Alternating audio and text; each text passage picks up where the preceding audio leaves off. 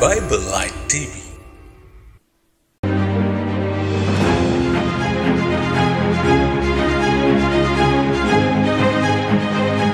God who sees ministries வழங்கும்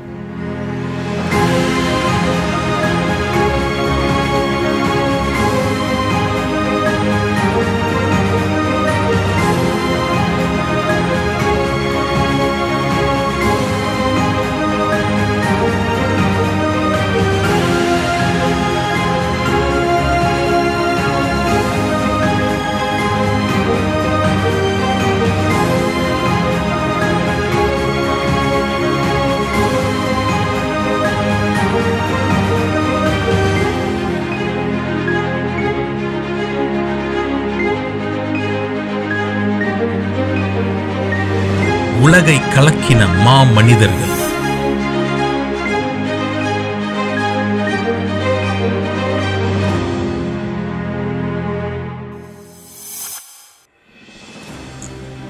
மென்மையான ஆடையினுடைய பனிக்குளிரானது பாய்ந்து கொண்டிருந்தது. கற்களும் முட்களும் அவரது கால்களை கிழித்துக் கொண்டிருந்தன. என்றாலும் பனியால் மூடிய மலைகள் மீது அவர் நடந்து கொண்டே இருந்தார். அவருடைய ரத்தம் கசியும் பாதங்கள் அவருக்கு பின்னால் வெண்மையான பனியின் மீது அடிச்சுவட்டை ஏற்படுத்திக் கொண்டிருந்தன. ஓரிடத்தில் அவர் உட்கார்ந்து தன் கால்களின் புண்களை கட்ட ஆரம்பித்தார். அவ்வழியே அவருக்கு பின்னாக வந்த ஒருவர் அவரை பார்த்து நின்று அவரோடு பேச ஆரம்பித்தார். ஐயா எப்படி இருக்கிறீர்கள்? என்று கேட்டார். அதற்கு என்னுடைய அருமை இரட்சகராம் இயேசு கிறிஸ்துவில் நான் மகிழ்ச்சியாக இருக்கிறேன் என்று சாது சுந்தர் சிங் பதில் கூறினார். ஏன் நீங்கள் ரத்தம் கசியும் வெறும் கால்களால் மலை மீது இவ்விதமாக பயணம் செய்ய வேண்டும்? என்று கேட்ட அவருக்கு கல்வாரி சிலுவையிலே தம் கால்களில் ரத்தம் சிந்தின இயேசுவை மக்களுக்கு காண்பிப்பதற்காகவே இவ்விதமாக சொல்கிறேன் என்று பதிலளித்தார். சிலுவையில் அறையுண்ட இயேசு கிறிஸ்துவின் நற்செய்தியை திபெத் நாட்டிற்கு. இன்னும் ஆண்டவரை பற்றி கேள்விப்பட்டிராத இடங்களுக்கும் எடுத்து சொல்வதற்காகவே தனக்கு கிடைத்த தெய்வீக அழைப்பை சாது சுந்தர் சிங் முழுவதும் நம்பி அதை செயல்படுத்தினார். சாது சுந்தர் சிங் என்று பொதுவாக அழைக்கப்படும் சுந்தர் சிங் ஆயிரத்தி எண்ணூற்றி எண்பத்தி ஒன்பதாம் ஆண்டு செப்டம்பர் மாதம் மூன்றாம் தேதி பஞ்சாப் மாநிலத்தில் உள்ள ராம்பூர் என்ற இடத்தில் பிறந்தார். இவரது பெற்றோர் சீக்கிய மார்க்கத்தை சேர்ந்தவர்களாய் இருந்தனர். இவருடைய தாயார் மத நம்பிக்கையில் மிகவும் பக்தி நிறைந்தவராய் இருந்தார். காலையில் சுந்தர் எழுந்தவுடனே முதன் முதலாக தேவையான நேரத்தை கடவுளிடத்தில் பிரார்த்தனை செய்வதில் செலவழிக்க வேண்டும் என்றும் அதன் மூலம் ஆன்மீக ஆகாரத்தையும் ஆசிகளையும் பெற்று அதன் பின்னரே அவர் காலை ஆகாரத்தை உண்ண வேண்டும் என்று அவரது தாயார் மிகவும் வலியுறுத்தினார். தன் மகனை மிகவும் அதிகமாக நேசித்ததினால் தன்னுடைய மகனும் தங்களுடைய மார்க்கத்தை அதிகமாக நேசித்து அதிலே ஒரு பக்தி நிறைந்த சாதுவாக மாற வேண்டும் என்று விரும்பினார். இளமை பருவத்தில் இருந்தே சுந்தர் இந்து மார்க்கத்தின் புனித நூல்களை குறிப்பாக பகவத்கீதையை ஆழ்ந்து படித்தார். அவர் ஏழு வயதாக இருக்கும் பொழுது அதை மனப்பாடம் செய்யவும் ஆரம்பித்தார்.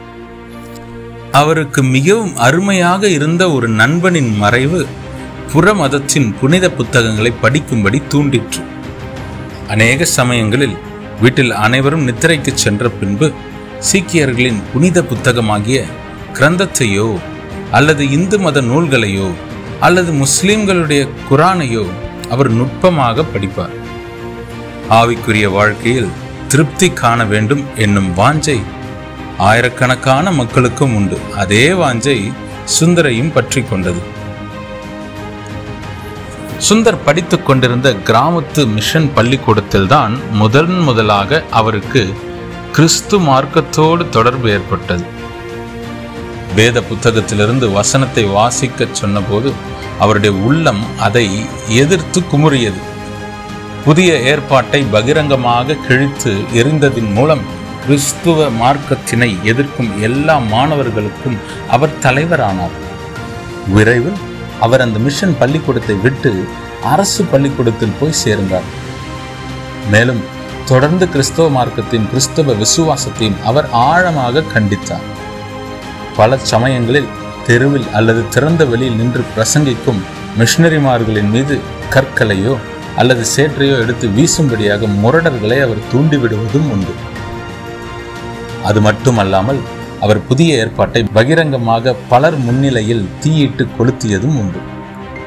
கிறிஸ்தவ மார்க்கத்தையும் எதிர்த்து போராடினார். அதனால் அவருடைய இருதயத்தில் குழப்பமும் அமைதியின்மையும் ஏற்பட்டது. இறுதியில் அவர் வேதத்தை வாசிக்க ஆரம்பித்தார். உண்மையான சமாதானத்தை கண்டுபிடிக்க வேண்டும் அல்லது தன் வீட்டின் பக்கத்தில் கடந்து செல்லும் ரயில் முன் விழுந்து உயிரை மாய்த்து கொள்ள வேண்டும் என்று உறுதி பூண்டார். ஒரு நாள் அதிகாலையில் மூன்று மணிக்கெல்லாம் அவர் எழுந்தார். குளித்துவிட்டு கடவுளே உண்மையான கடவுள் ஒருவர் உண்டு என்றால் உம்மை எனக்கு காண்பியும். ரட்சிப்புக்கு உரிய வழியையும் சாந்தியையும் நீர் எனக்கு தர வேண்டும் என்று சொல்லி அவர் ஜெபிக்க ஆரம்பித்தார். உடனே அந்த அறையில் ஒரு பேரொளி வீசியது. அதில் அவர் மிகவும் வெறுத்து வந்த இயேசு கிறிஸ்துவின் சாயலை கண்டார். அவர் தமது ஆணிகள் பாய்ந்த கரத்தை சுந்தருக்கு காண்பித்து நீ ஏன் என்னை துன்பப்படுத்துகிறாய்? நான் உன்னுடைய ரட்சகர் என்று சொன்னார். இப்பொழுதே சுந்தரின் இருதயம் மாபெரும் மகிழ்ச்சியினால் நிரம்பியது. அதுவரையில் தன் வாழ்க்கையில் நாடி தவித்து கொண்டிருந்த ஆவிக்குரிய தாகமும் தனிந்ததை அவர் உணர்ந்தார். அவர் வாழ்க்கை முழுவதும் மாறியது. அவர் அடைந்த இந்த மகத்தான பரவசமான அனுபவத்திலிருந்து அவரை சந்தேகப்பட வைக்கவோ அல்லது மாற்றவோ யாராலும் முடியவில்லை. இவ்விதமான இந்த புதிய அனுபவத்தை பெற்ற சுந்தர் உடனடியாக தனது தந்தையிடம் சென்று தான் ஒரு கிறிஸ்தவனாகி விட்டதை கூறினார். அவருடைய தந்தை இதை முதலில் நம்பவில்லை. ஆனால் பிறகு அவருடைய குடும்பம் முழுவதுமே சுந்தர் கிறிஸ்தவனாக மாறுவதற்கு எடுத்த தீர்மானத்தைக் கண்டு அதிர்ச்சியுற்றது. தன்னுடைய தாயாரின் மார்க்கத்திற்கு எந்த விதமான களங்கமும் ஏற்படுத்திவிடக்கூடாது என்று சுந்தரை அவரது தந்தையார் மிகவும் அதிகமாக கெஞ்சி கேட்டுக்கொண்டார். அவருடைய செல்வந்தரான மாமா ஒருவர் தன்னுடைய பெரிய மாளிகைக்கு அழைத்து சென்று அங்கே குவியல் குவியலாக வைக்கப்பட்ட பணத்தையும் வைரத்தையும் பலவிதமான விலையுயர்ந்த கற்களையும் அவருக்கு காட்டினார்.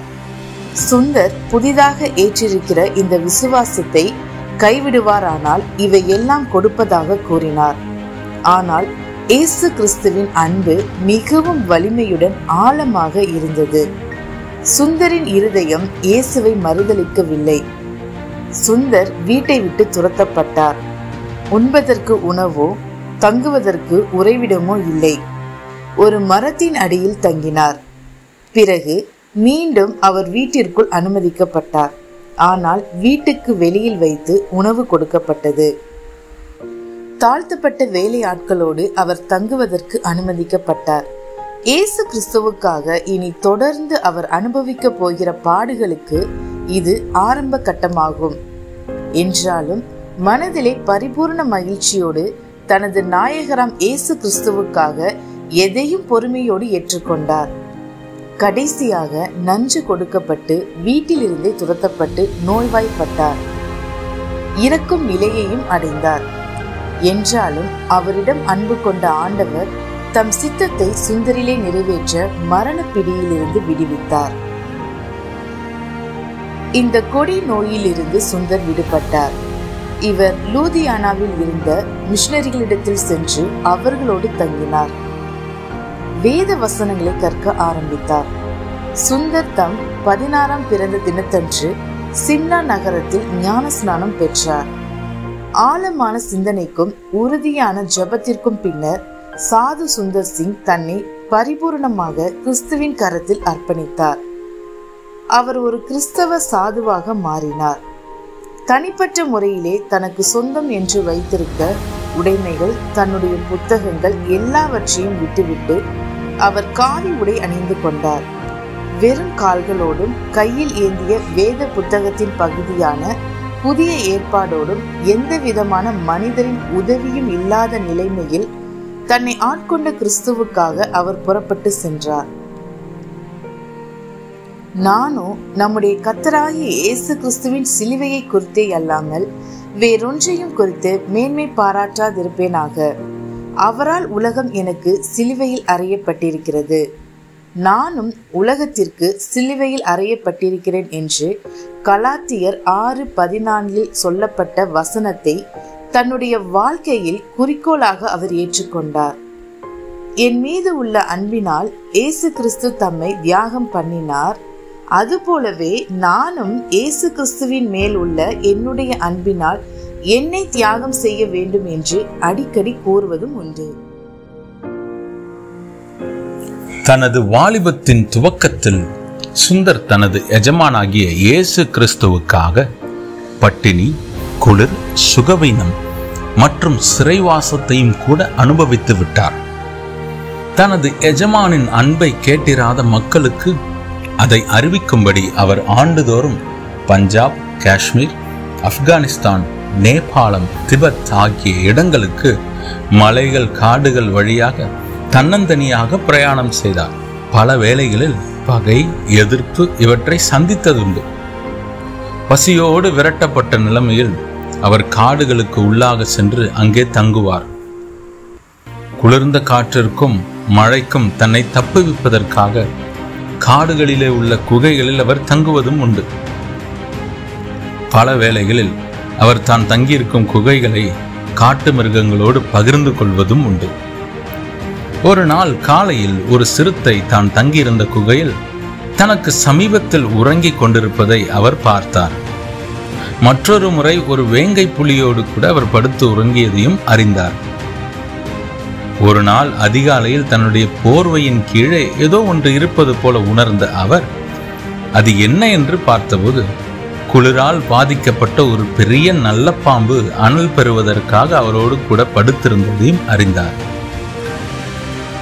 இமயமலை பகுதிகளில் உள்ள கணவாய் வழியாக பிரயாணம் பண்ணுவதும் என்றாலும் அவர் எப்போதுமே வெறுங்கால்களோடு தான் தன் பிரயாணத்தை மேற்கொண்டார். ஆனபடியினால் கற்கள் பனிக்கட்டிகள் போன்றவற்றினால் அவர் கால்கள் கிழிக்கப்பட்டு அவர் கால்களில் ரத்தம் சிந்தி கசிந்து கொண்டே இருக்கும். ஆகவே அவர் ரத்தம் கசியும் கால்களை உடைய அப்போஸ்தலன் என்று அழைக்கப்பட்டார். பல வேளைகளில் பலவிதமான முறைகளில் அவர் துன்பப்படுத்தப்பட்ட போதும் அவர் மகிழ்ச்சியோடும் பொறுப்போடும் இருப்பதைக் கண்ட அநேகர் அவருடைய நற்செய்தியை ஏற்றுக்கொள்ள முன்வந்தனர். ஒரு சமயம் ஒரு கிராமத்துக்கு சென்று அங்கிருந்த மரத்தடியில் உட்கார்ந்து பாடல்களை பாட ஆரம்பித்தார். அதி சீக்கிரத்தில் ஒரு பெரிய கூட்டம் கூடிவிட்டது. ஆனால் அவர் இயேசு கிறிஸ்துவை பற்றி அங்கு பேசுவதை கேட்டவுடனே அந்த கூட்டம் அவர் மேல் கோபம் கொண்டது. அக்கூட்டத்தில் குருப்ராம் என்ற ஒருவன் மிகவும் மூர்க்கம் கொண்டு சாதுவை பலமாக தாக்கினபடியால் அவர் உட்கார்ந்திருந்த இடத்திலே கீழே விழுந்தார். அவர் கைகளும் முகமும் கன்னங்களும் கீழே கிடந்த பாறைகளினால் காயப்பட்டு ரத்தம் கசிய ஆரம்பித்தது.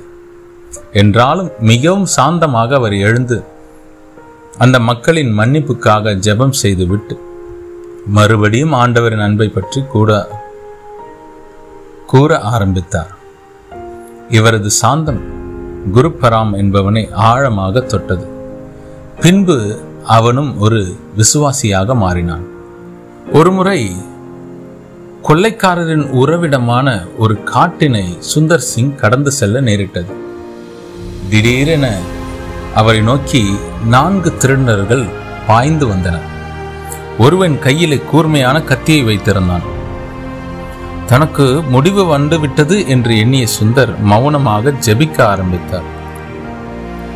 இவ்விதமாக அவர் ஜெபிப்பதைக் கண்ட அவன் ஆச்சரியப்பட்டு அவர் யார் என்று விசாரித்தான். தான் ஒரு கிறிஸ்தவ சாது என்றார். அத்துடன் தன்னுடைய கையில் உள்ள புதிய ஏற்பாட்டை திறந்து ஐஸ்வர்யவான் லாசுரு பற்றி எழுதியிருக்கிற பகுதியை வாசித்து விளக்கினார்.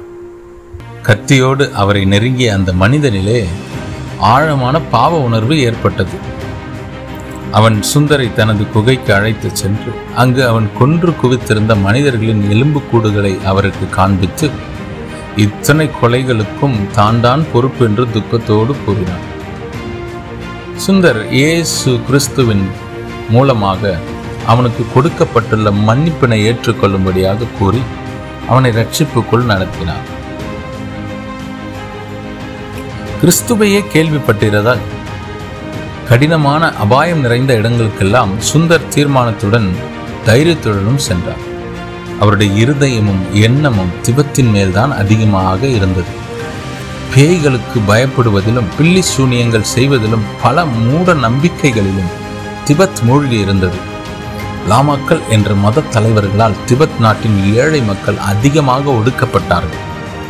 திபெத் மக்கள் புத்த மார்க்கத்தை தழுவியவர்களாக இருந்தார்கள். பலவிதமான ஜெபங்கள் எழுதப்பட்டிருந்த சக்கரங்களை சுற்றுவதும் ஜெபங்கள் எழுதப்பட்டிருந்த கொடிகளை காற்றிலே பறக்க விடுவதும் தான் அவர்கள் ஜெபிப்பதற்குரிய ஒரே வழி என்று எண்ணினர். இவர்கள் ஒருபோதும் இயேசு கிறிஸ்துவை பற்றி கேள்விப்படாதவர்கள். ஆகவே சுந்தர் பலமுறை திபெத் நாட்டிற்கு சென்றார்.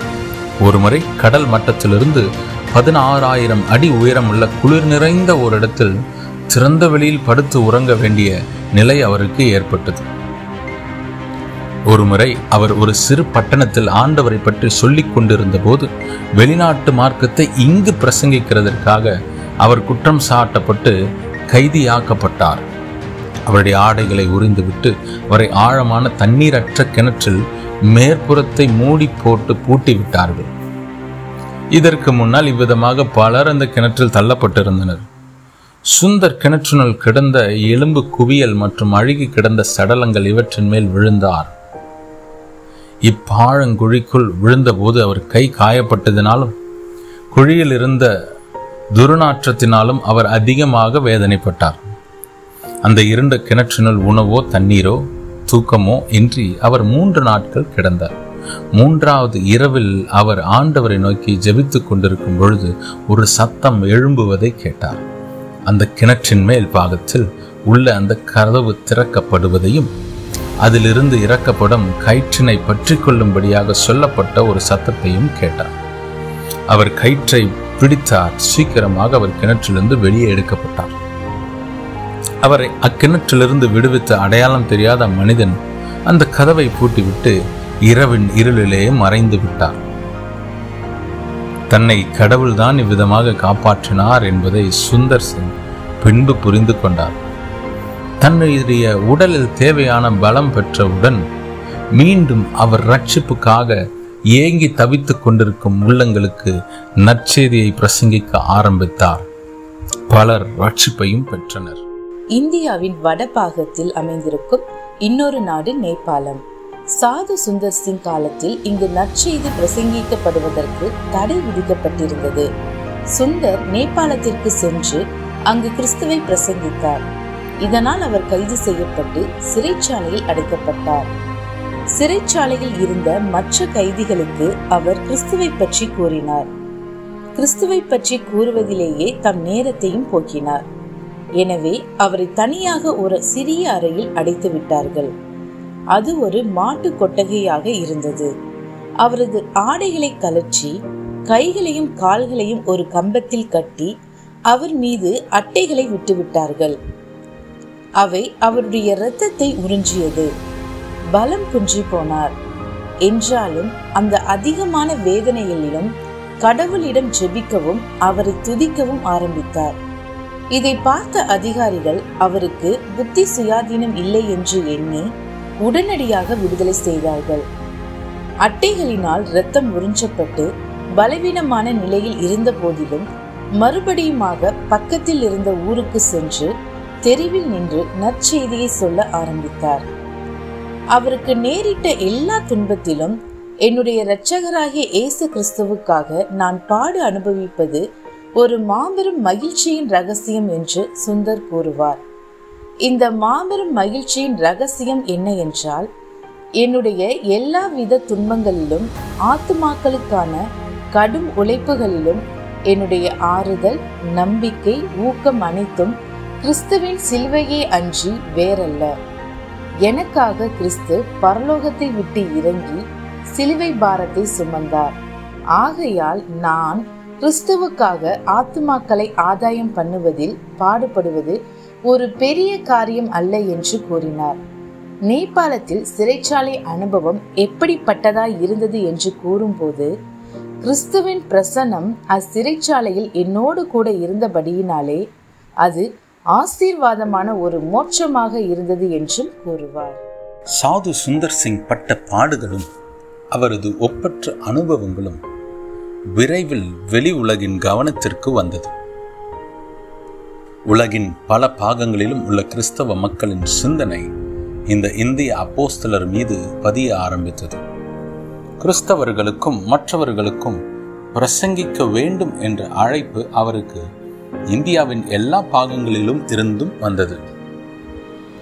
அவர் சென்ற இடங்களில் எல்லாம் தன்னைத்தான் வெறுத்து தன் சிலுவையை எடுத்துக்கொண்டு சிலுவை நாதரை பின்பற்ற வேண்டும் என்பதை அரைக்கூவலாகவும் மிஷனரி அழைப்பாகவும் கூறினார்.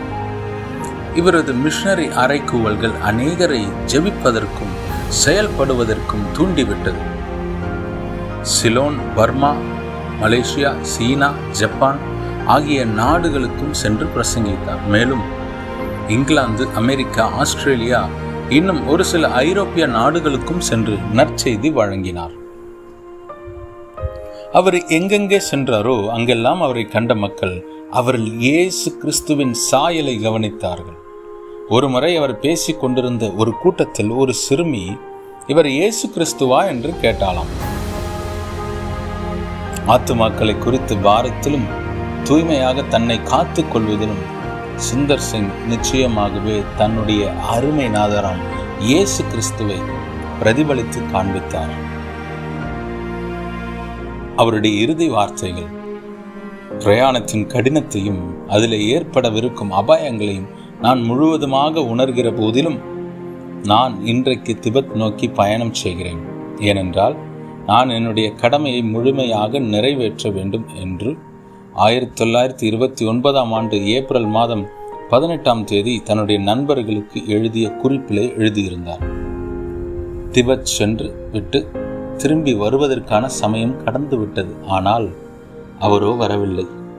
எந்த விதமான செய்தியும் அவரிடத்தில் இருந்து கிடைக்கவில்லை. ஒருவேளை அவர் பிரயாணத்தில் மலை சிகரங்களை கடந்து செல்லும் பொழுது ஏதோ ஒரு பாதாளத்தில் விழுந்து இறந்திருக்கலாம் அல்லது ஒரு ஆழமான கிணற்றிலே தூக்கி போடப்பட்டிருக்கலாம். அல்லது யாக் என்னும் எருமையின் நனைந்த தோலுக்குள்ளாக வைத்து கட்டப்பட்டு சுருட்டப்பட்டு அவருடைய எலும்புகள் முறிக்கப்பட்ட நிலையில் அவர் ஒரு இரத்த சாட்சியாக மறித்திருக்கலாம் அவரது முடிவு எப்படியாக இருந்தாலும் இந்தியாவின் அப்போஸ்தலர் ஆகிய சாது சுந்தர் சிங் தனது ஜீவ கிரீடத்தை பெற்றுக்கொண்டார் என்பது மட்டும் உறுதியானது.